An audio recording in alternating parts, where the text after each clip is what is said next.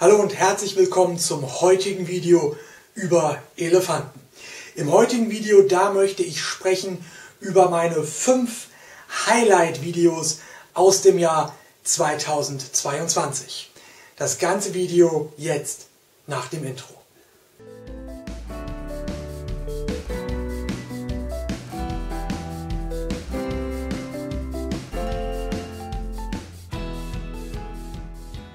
Hallo und herzlich willkommen zum heutigen Video über Elefanten. Mein Name ist Diplombiologe Tobias Dornbusch und ich habe 1995 angefangen mit Elefanten zu arbeiten und über Elefanten zu studieren.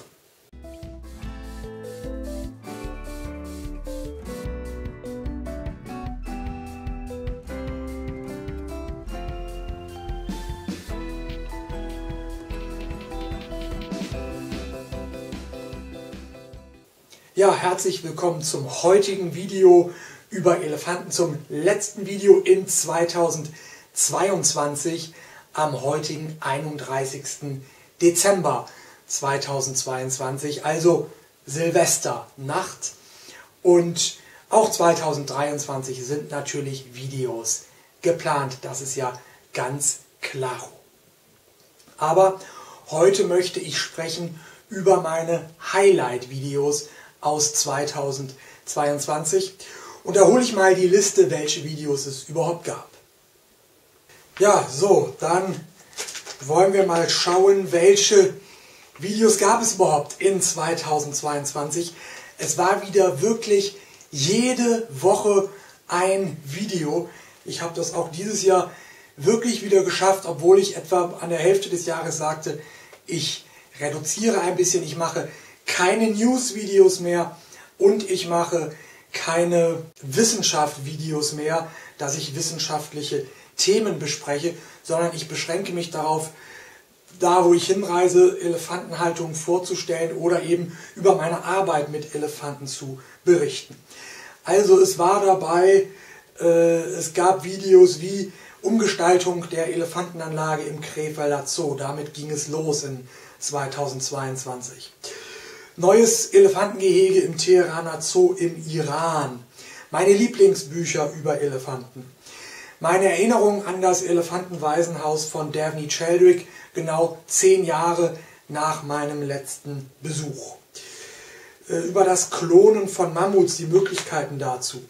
Über eine Elefantenattacke auf einen Safari-Jeep. Über Zwillinge bei Elefanten, das war noch eines der Wissenschaftsthemen, die Anatomie von Elefanten auch ein Wissenschaftsthema. Über Zoos in der Ukraine, das war eines meiner Videos mit den meisten Klicks aus leider sehr äh, aktuellen Gründen. Über die Ernährung von Elefanten, auch das Kategorie Wissenschaftsvideos.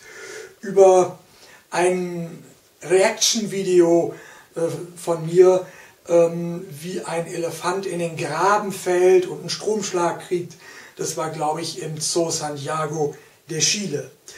Dann über die Elefantenhaltung im Zoo Hannover. Was wurde aus Baby, der einzigen im europäischen Zirkus gezeugten und geborenen Elefantenkuh in einem europäischen Zirkus, wie gesagt. Dann über die, über die Elefantenhaltung im Zoo Osnabrück aktuell über die Historie der Elefantenhaltung im Zoo Osnabrück, der afrikanischen Elefanten, über den Safari Park Toulouse, die Elefantenhaltung, den ich mit Detlef Niebler besuchte. Der Elefantenflüsterer Zoo Tiflis, gerannt in Mast, da gab es drei Folgen. Der Elefantenflüsterer Zoo Jerewan gab es eine weitere Folge. Der Elefantenflüsterer Teheraner Zoo im Iran mit Integration Mahassen integriert mit äh, Mihiri und Meiser. Da gab es fünf Folgen zu. Ein Integrationsvideo über Integration von Elefanten generell. Ein Video über Zita und Jetu aus den 1990er Jahren im Krefelder Zoo. Ein Video über den Zoo Belfast, wo Jetu aktuell lebt. Ein Video über Jenny und sei da im Zoo Karlsruhe. Ein Video über den Zoo Dublin. neues Enrichment im Krefelder Zoo, da ging es um das Heunetz unter anderem und Spielzeug für die Elefanten. Zoo Berlin, die Elefantenhaltung wurde vorgestellt. Ein neuer Pool für die Elefanten im Teheraner Zoo im Iran, im neuen Erweiterungsgelege. Historisch ging es weiter mit Stuart Craven, dem ersten Master of the Elephants. Dann das neue Elefantengehege im Zoo Taschkent in Usbekistan, das in Bau ist. Dann Elefantenangriff in Italien und der Elefant kam nach Deutschland. Auch eines der Videos mit den meisten Klicks aus dem letzten Jahr. Historie äh, Ibrahim Thompson, der erste farbige Elefantentrainer der westlichen Welt, der ein erfolgreicher, berühmter Elefantentrainer wurde. Meine Erinnerung an The Elephant Sanctuary in Tennessee, das war genau 2007, also 15 Jahre nach meinem Besuch dort. Dann historisch George Slim Lewis, der den Elefantenbullen Tusco betreut hat und den Elefantenbullen Ziggy betreut hat. Dann meine Erinnerung an den Zirkus Ringling Brothers Barnum and Bailey, The Greatest Show on Earth, genau zehn Jahre nach meinem Besuch dort. Historisch ging es weiter mit Gunther Gebel Williams, einem berühmten Zirkustrainer, und historisch meine Erinnerung an den American Circus von Flavio Togni, genau 25 Jahre nach meinem Besuch in diesem Zirkus. Elefantenflüsterer Zoo Tiflis mit dem Ohrtraining und dem Versuch, Blut abzunehmen, von dem die Elefanten nicht so begeistert wurden. Da gab es waren, da gab es ein Video. Und der Elefantenflüsterer Zoo Yerevan Bunker über das Enrichment von Bunker im Zoo Yerevan.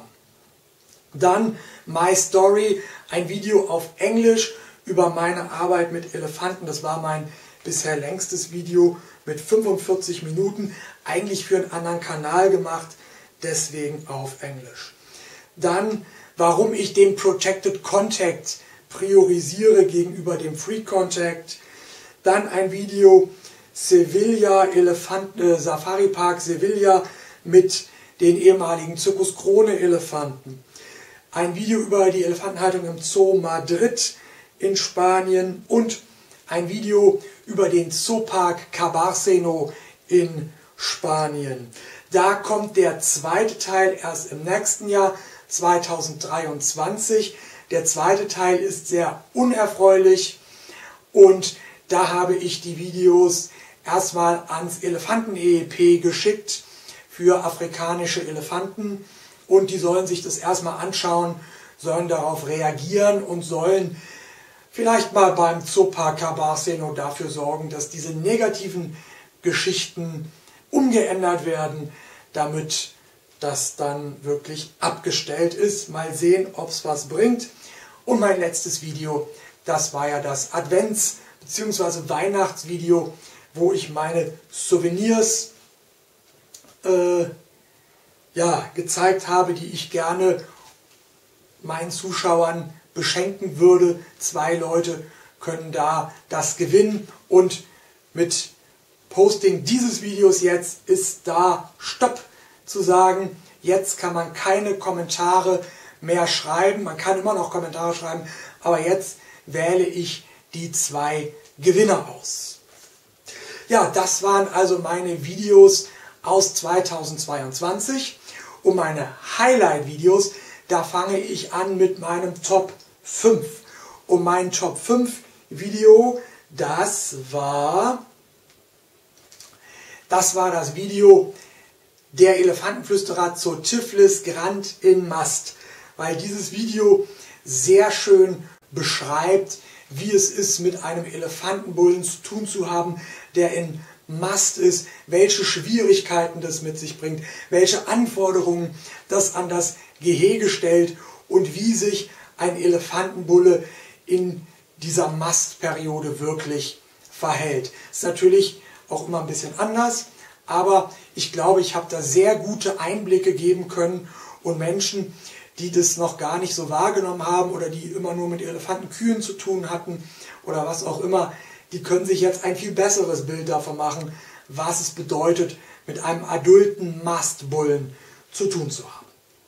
Hier nochmal einige Ausschnitte.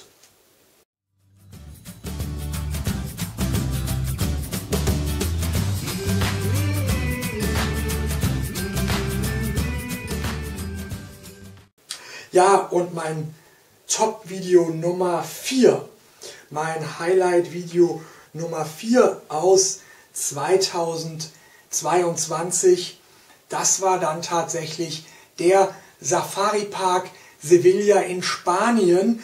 Zum einen, weil ich schon seit vielen Jahren vorhatte, dort hinzureisen und als dann die Zirkus Krone Elefanten dorthin kamen, dann erst recht, weil die Zirkus Krone Elefanten, die kenne ich nun seit mehr als 25 Jahren, kann sie auseinanderhalten, kenne sie wirklich und habe ihr Leben und ihre Haltung im Zirkus Krone immer verfolgt, habe mindestens einmal im Jahr diesen Zirkus und diese Elefanten besucht, allerdings zuletzt 2018 und jetzt nach fünf Jahren gab es dann ein Wiedersehen 2022 mit den Elefanten des Zirkus Krone, jedenfalls mit den vier noch Lebenden und drei davon wurden ja auch wunderschön auf dieser 8,5 Hektar großen äh, Außenanlage gehalten, wenn auch ähm, Aisha durch einen Stromzaun von den beiden Asiaten getrennt stand. Aber auch das zu sehen, dass man diese Zirkus-Krone-Elefanten, die ich wirklich aus schlechter Haltung kennengelernt habe, jetzt plötzlich in einer derart guten Haltung vorfindet, das hat mich doch sehr erfreut. Da sagt man sich, warum nicht zehn Jahre vorher schon? Aber es hat mich sehr erfreut. Das war emotional für mich. Deswegen das eines meiner Highlight-Videos 2022. Ja, und mein Highlight-Video 2022 Nummer 3, das ist Zoo Belfast. Das ist das Video im Zoo Belfast, weil dort habe ich nach zwölf Jahren Jetu wiedergesehen. Eine Elefantenkuh aus dem Krefelder Zoo, die 1980 im Jahr meiner Geburt in den Krefelder Zoo kam und die ich mein ganzes Leben lang im Grunde genommen gekannt habe. Auch an ihrem letzten Tag im Krefelder Zoo bei ihrem Abtransport nach Richtung Belfast war ich dabei und ich habe sie dann das erste Mal eben wieder gesehen, dieses Jahr nach zwölf Jahren und deshalb das Video und das Wiedersehen mit Jetu für mich sehr emotional. Deshalb mein Nummer 3 Top-Video in 2022.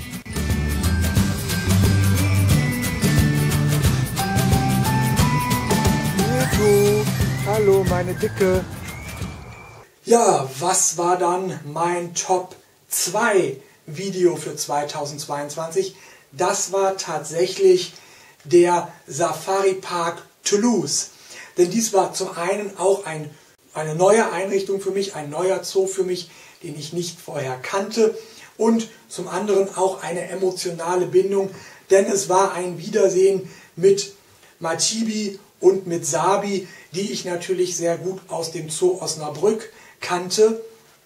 Und obendrein nicht nur, dass ich sie nach zehn Jahren das erste Mal wieder sah, sondern ich war auch zusammen dort mit Detlef Niebler, dem langjährigen Elefantenpfleger aus dem Zoo Osnabrück.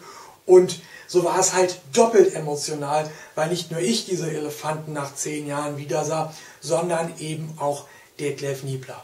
Deswegen mein Besuch zusammen mit Detlef Niebler im Safari Park bei Toulouse im Zoo Afrika Safari und unser Wiedersehen mit Sabi und Matibi, das auf jeden Fall das Top 2 Highlight in 2022 von meinen Videos.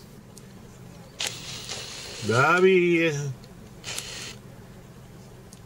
Ja, hier wissen Sie noch nicht Dabi. ganz genau, aus welchem Auto jetzt die Rufe kommen. Hallo, da müssen Dabi. Sie nochmal das ein bisschen Matibi. genauer einordnen. Hola Mativi, Dabi.